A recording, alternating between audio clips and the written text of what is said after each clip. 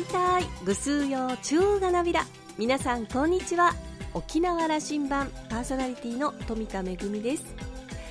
皆さん旧盆はどんな風にお過ごしになりましたでしょうか？県の緊急事態宣言の延長に加えて台風もあって今年は本当にいつもと違うお盆になりましたね。帰省を諦めてお供えを配送にしたりうとうとうもですねリモートでといろいろと工夫をされたご家庭もあったことでしょう。またあの楽しみにしていたエイサーもですね今年は中止にした青年会が多かったかと思いますがせめて音だけでもということで録音した音をですねスピーカーで流しながら道年した地域もあったようです。来年はどんな風になるんでしょうか？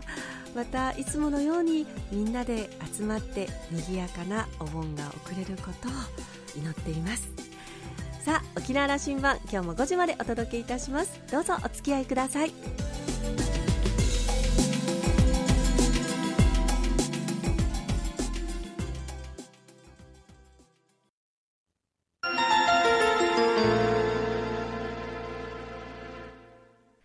那覇空港のどこかにあると噂のコーラルラウンジ。今週は沖縄県立中部病院医師の高山義弘さんとラウンジ常連客で沖縄大学地域研究所特別研究員の島田克也さんのおしゃべりです。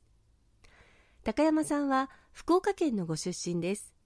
東京大学医学部保健学科を卒業後フリーライターとして世界の貧困と紛争をテーマに取材を重ねます。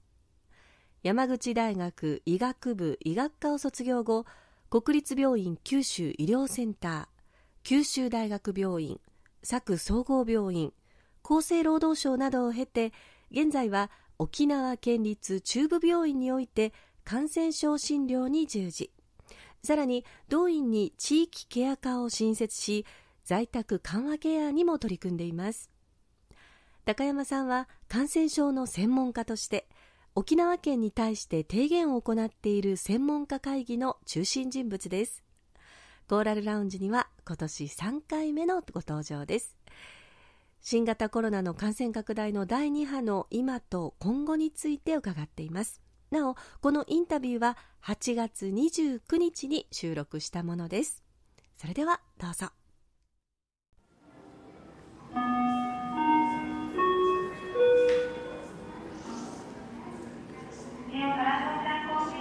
第2波と言っていいですか？高山先生。そうですね。沖縄にとって。は、うん、第2波ですね。世界的には第3波。はい、4月に、まあ、小さな流行があって、うん、あの確認された感染者数で見てもかなり高い、えー、流行を、まあ、経験したということです。ただこの時の検査体制と、えー、今の検査体制は大きく違います。この時はですね実は、えー、発症してから4日経たないと検査が受けられなかったりとかあと高齢者とか妊婦とか医療介護従事者は検査が受けられるんだけれどもあと基礎疾患のある方々。だけども例えば、えー、高校生が熱を出したといっても、えー、検査の順番待ちみたいな感じでなかなか検査が受けられなかった。ですから実態としてはもっと大きかったはずなんですね。全国的にもこのことは問題になりましたね。そうですね。検査受けたいと言っても、受けさせてもらえなかったと。で当時、まあ、あの4月の中旬ぐらいから沖縄県でもだいぶ検査体制拡大してきたんですけれども、えー、それでも1日に50件から100件が限度っていう状態があの当初でした。で、まあ、今どれくらいいけるかというと多分600700ぐらい検査ができる体制まで拡大してきていて、まあ、あの県外の検査機関に送るのであれば1000件でもあの検査には対応できるというところまで、まあ、拡充してきている。ですから実はこの診断された患者数がはの裏には検査が受けられなくてだけども実は陽性だったという人たちが一定数いて多分私はこのデータを見てる印象でいうと今回は4月の2倍から3倍ぐらいの規模の流行を経験したんだろうというふうに思います。でその上で振り返ってみて、まあ、最初はねダイヤモンド・プリンセスからのあの接点のある方が感染を起こしてそして4月は、えーと、春休みの影響で、えー、県内にあの持ち込まれた流行があって今回は米軍のイベントがどれくらい影響を及ぼしているのかということがえーまあ、最初かなり危機感を僕は持ったんですけども実際のところは、えーと、少なくとも疫学的な検討では米軍からの感染拡大っていうのが、えー、それほど大きくはなかったかもしれない。これはもう少し分析する必要があります。むしろ本土との交流の中で、まあ、感染が広がってきたというふうに、まあ、捉えています。まあしばしば GoTo キャンペーンではないかっていうふうに言われるんですけれどもただその実際、えー、観光客から感染が広がっている事例というのは、えっとほとんど認めていない。えー、もちろんそれはわからないです。その例えば松山地区に観光客が入っていってそこで広げてるということもあったでしょうし、えー、全てあの捉えてるわけではないんですけれどもむしろ、えー、それもあったけれども県民が県外に行って帰ってきてご家族で感染を広げてる事例というのは、まあ、結構発見されているしあるいは県外にいる娘さんとか親族が、えー、沖縄に戻ってそこで感染が広がってる事例もあったので、まあ、要は要因は単一ではなく米軍もあっただろうし観光客もあっただろうしあるいは、えーまあ、あの県民が旅行したことで持ち帰ってきたケースもあるだろう、えー、複合的な要因で感染が大きく広がったというふうに捉えています。で次に医療体制の話なんですけれども感染者数はあの8月の中旬で、えー、減り始めているんですね。ちょうどその緊急事態宣言を発出してから2週間ぐらいに減り始めているのでやはりあの4月の時もそうなんですけどもそういう宣言をすると2週間ぐらいすると減ってくるというのはあの前回の経験と合致してるなというふうな印象があります。で入院患者さんについては8月16日をピークにして減り始め中等症の患者さんえつまり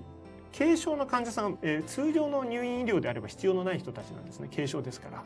指定感染症になってるから入院してる人たちというふうに言ってもいいです。一方本当に入院してなきゃいけない人たちつまり酸素投与が必要とか、えー、まあ、そういう状態の方々ですよね。そういう方々が8月21日をようやくピークにして減り始めたというような状況です。であのこのまま減っていってくれることを期待してるんですけどもまあ旧盆がここに重なってくると。で、えーとまあ、あのお盆がやってくることで、えー、ここ結局この状態から用意どんであれば我々もまだ医療現場としても耐えられる可能性があるんですけどここでもう一度大きな波が来たら多分医療崩壊するということで、えー、先日の専門家会議の中で議論があって、えー、緊急事態宣言の延長を、まあ、していただきたいという医療従事者たちの意見として、まあ、あの県庁の方に、えー、申し入れて緊急事態宣言の延長ということを知事がご判断なさったという経緯になります。で次にこの病気の特性について復習を、うん、したいと思います。まあ、大きく分けると3つに分けることができるんですね。症状の出ない人、軽症、重症化。まあ、軽症と重症化のことはもうあの前回もお話をしたかなと思います軽症が8割重症化が2割いるということなんですけども無症候の部分がだいぶ分かってきました、えー、どうやら65歳未満だと、えー、半分ぐらいが無症候で小児だともっと多いようだということです。で実はあの感染していても症状を認めないまま、え結構あの活発に動かれている人たちがいるようだということです。でちなみにその人たちがどれくらい周囲に感染を広げているかはまだ分かりません。感染力がないかもしれない。しあの、まあ、ある人たちもいるかもしれないけどもそれほど広げてないのかもしれない例えば小学校でクラスターが発生したりもしてますけれども、えーと、無症候の子どもたちが多くあのインフルエンザと比べれば学校でのクラスターの広がりがそれほど大きくないんですよね。ですからどうやらその無症候の小児の感染力は少なくともインフルエンザほどは強くなさそうだという印象を持っています。一方65歳以上だとおそらく2割ぐらいが無症候です。で8割ぐらいは発症してくるだろうということが、まあ、見えてきています。ちなみに米兵海兵隊で、えー、約370人から380人ぐらいですかね今確認されてますけども、えーまあ、海軍病院の医師から聞いてる噂話だとほとんどが無症候のようです。結局屈強な20歳前後の若者たちですよね。そうなってくると発症してこない、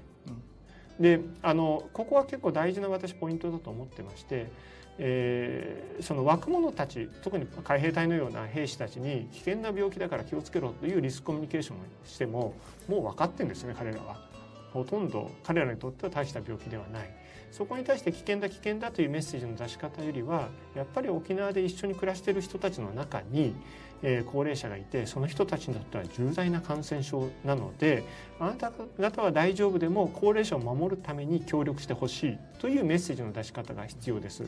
でこれはおそらく小学生とか中学生子どもたちに対しても同様なのではないかなというふうに思います。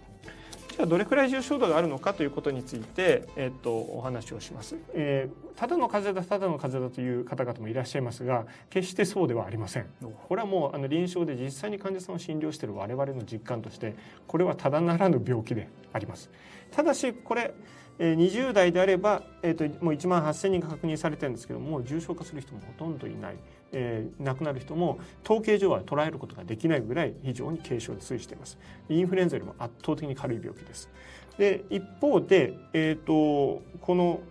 40歳50歳を過ぎたぐらいからだんだん致命率が上がってきていてそして80代になると17.6%の方が感染して亡くなっています。もちろんあの受診していない軽症の、えー、その80代の方もいらっしゃるでしょうから実際はこれよりも低いんだろうと統計上見えてる数字よりは低いだろうと思いますけどもとはいえインフルエンザでもこんなに亡くなることはないのでこの高齢者を特に80歳以上ですよねをいかに守っていくのかということがこの感染症対策の要点になります。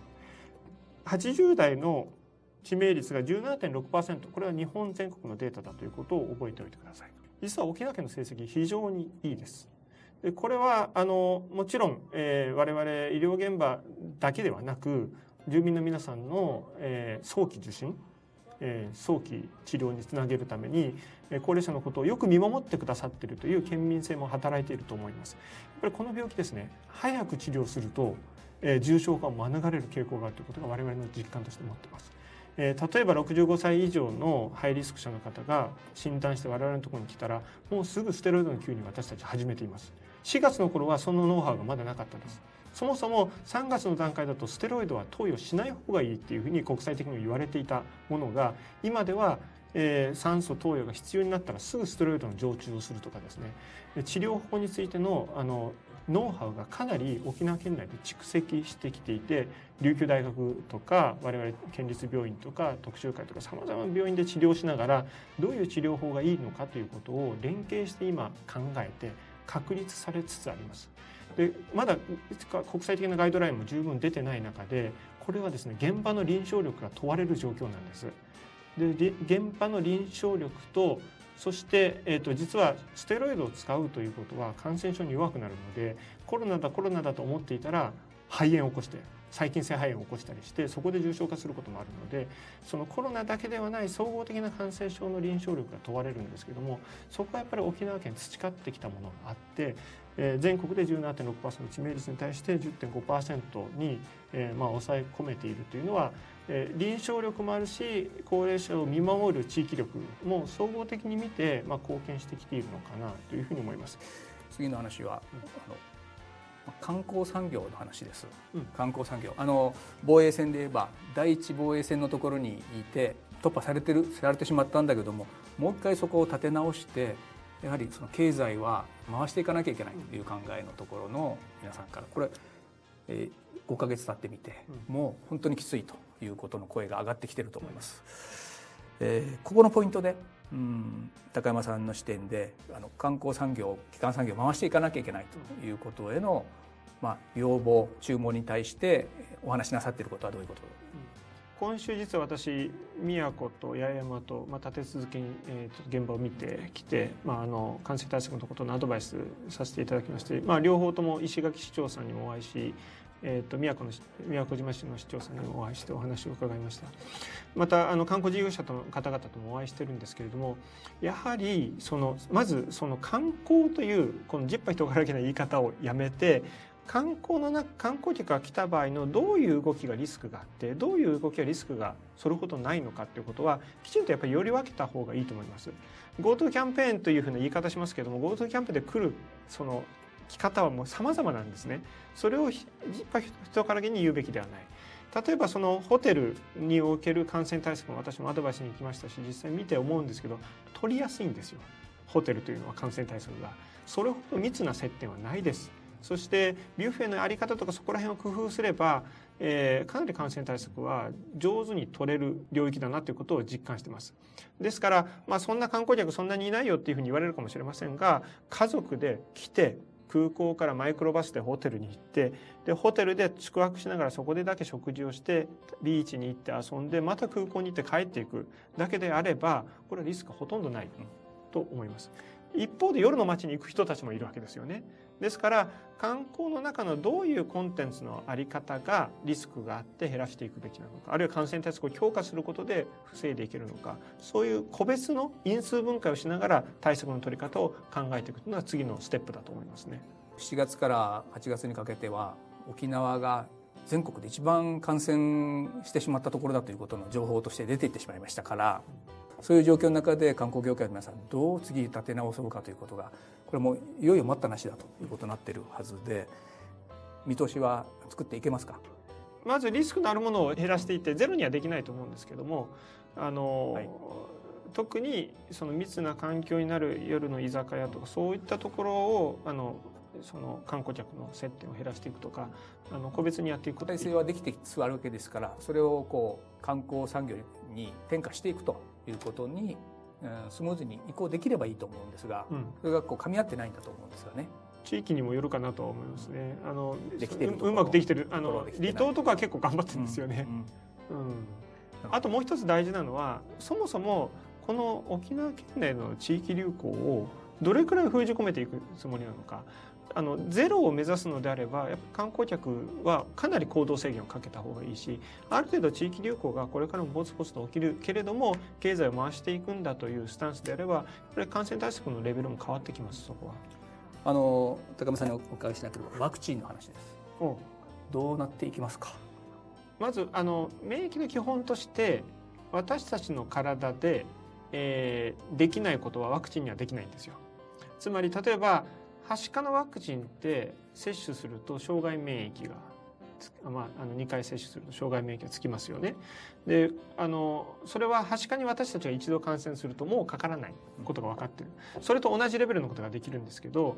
あのワクチンっていうのはその私たちがその自分たちの体でできないことまではできるようにならない。でコロナというのが一度感染したらもう感染しないのかどうかとまだ分かってない。だけども季節性コロナいわゆる他の4種類の私たちが冬風邪と呼んでるものにはどうやら私たちは繰り返しかかってるところを見ると多分新型コロナも繰り返しかかるんだろうと私は思っています。そういう意味で今回新たにワクチンが開発されてそれを私たちが接種したとしてもそれは一時的な免疫作用だろうなというふうに思います。うん、まあ、半年うちにはそうすると我々国民にもワクチンというものが提供されてくると見ておられる、うん、それはあの生産されてくるんだろうなと思います。が例えばそれが一時期の免疫効果であるものを全国民に打つ必要があるかどうかわからないです。ゲームチェンジが起きるのはそのワクチンによる副反応がどれくらい出るかです。つまり副作用で必ずワクチンを打てばそれはもうどうしてもワクチンには副作用の問題があって、えー、いろんな有害事象が出る可能性がある。それがどのように報道されるかによってそもそもこの新型コロナにかかっても30歳未満はほぼ重症化しない。ことは分かってるそその人たちにそのリスクを取ってまでワクチンを打ってって言えるのかどうかですね。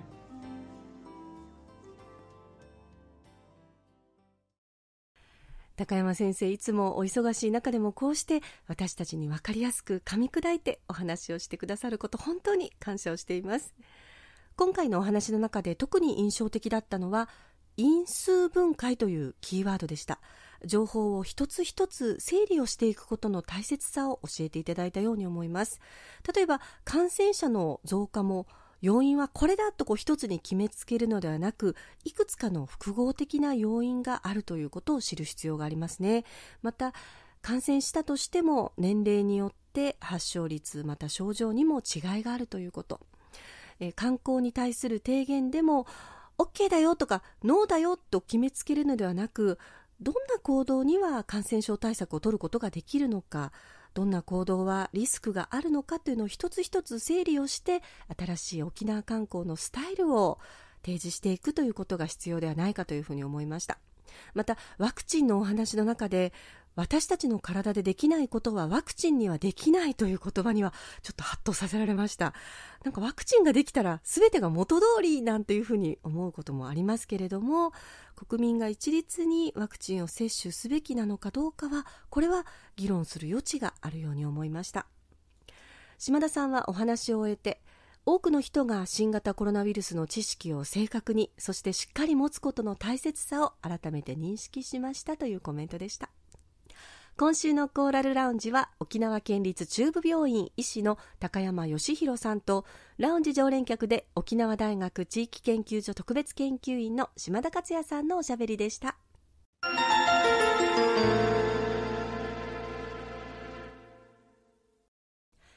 めぐみのあしゃぎだよりのコーナーです。雑誌「ももと」のレイトサマー号が発売になりました。今回の特集はコロナ用のエンターテイメントとなっています。よく大和の湯とかアメリカ湯とか言い方がありますけれども確かに今はコロナ湯かもしれませんね。琉球芸能や劇場ライブハウスお笑いクラシック音楽映画さまざまな分野で今どんな取り組みがされているのかそしてどんな思いがあるのかが紹介されています。あの琉球芸能に携わるものとしてはなんか読んでいて胸が熱くなるようなそんな一冊です。私はこの中で座談会芸能の力今これからに参加をさせていただきました。新興の琉球新報の伊佐記者からこの時代芸能はどんなふうに力をつけていけばいいのかどんなふうに形を変えていけばいいのかというお話があって私はまあ、あのコロナの対策をする必要があるけれどもいろんな環境を整えることは必要でも芸能そのものは守っていきたいというお話をさせていただきました。その例として、えー、カナヨアマカーという男女がラブラブな踊りがあるんですけれどもいくらディスタンスを取る必要があるからといってディスタンスカナヨアマカーとかあんまり見たくないですよねというお話をさせていただいたんですがこの「桃と」で実はお笑い芸人のケータリンがあの最近新しいキャラクターとして琉球舞踊の美恵子先生という架空の先生があるんですけれども大好きなキャラクターなんですがあの同じ踊りを取り上げていてですねこの美恵子先生はあのディスタンスが取れないから長さ2メートルの T サージ小道具を注文しましたというところで私爆笑してしまいましたけれどもさまざまな思いが詰まったコロナ用のエンターテイメントが特集されています。桃と43号 Late Summer 号ぜひ書店でお求めくださいめぐみのあしゃぎだよりのコーナーでした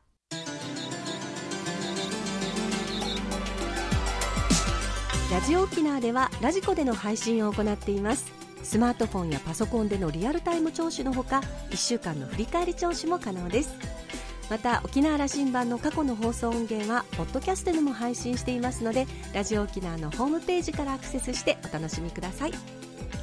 沖縄羅針盤今週も最後までお付き合いいただきまして一平二平デービル。パーソナリティは富田恵でした。それではまた来週。